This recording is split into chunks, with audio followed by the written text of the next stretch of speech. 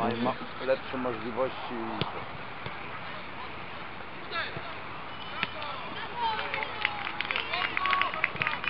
Marcin, Marcin nie gra, tylko on tę kontuzję miał. O.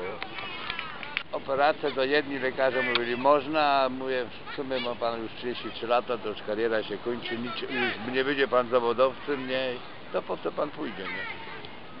Jak to wiesz?